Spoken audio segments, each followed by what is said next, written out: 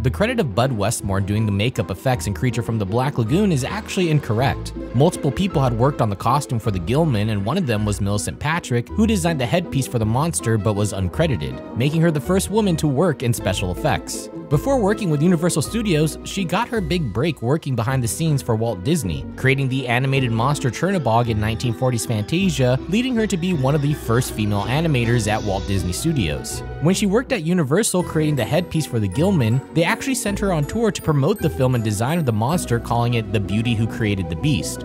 By the time she returned to Universal Studios when the tour was over, she was informed that she no longer worked there and was let go because of Westmore's jealousy of Millicent Patrick being associated with creating the Gill-man. After this incident, she never worked behind the scenes again. There's actually a book that was released in 2019 called The Lady from the Black Lagoon that I recommend reading when you get the chance that explores Millicent Patrick's life and her influence on cinema.